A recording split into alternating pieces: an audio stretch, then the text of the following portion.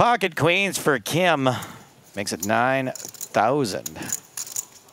Oh my goodness. Pocket kings for Mateos. Two big stacks. Number one and number three. Number one and number two. Sure enough. Love to see it. Eight high flop is going to be big, big trouble for Mr. Kim. Mateos checks.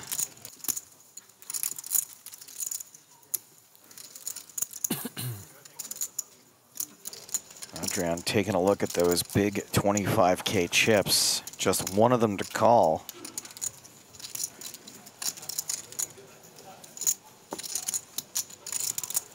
Doesn't use, oh yeah, uses three of them and three blues. That is a raise. There it is. I mean, it's so weird because Kim has got to be concerned that his opponent might have a combo like tens and play it like this. He might have a combo like jacks and play it like this.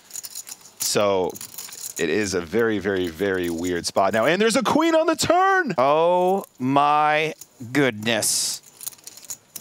Oh no, not like this.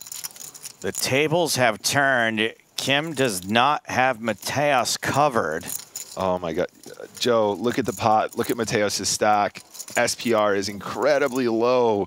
It's so hard not to do a stack at this point. All in. He's all in. Snap And call.